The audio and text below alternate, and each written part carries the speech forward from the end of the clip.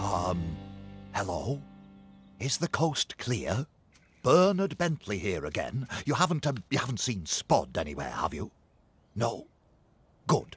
That means I can show you another one of my favourite places in Fixham, the football ground.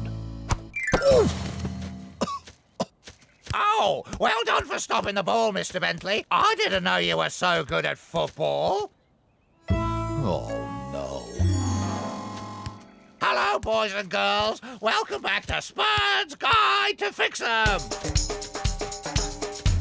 Oh, not again, Spud.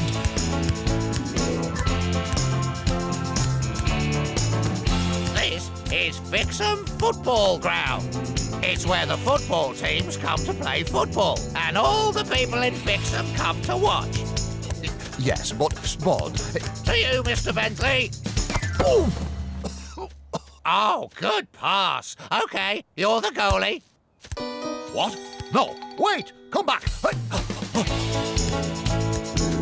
The idea of football is to kick the ball into one of the goals.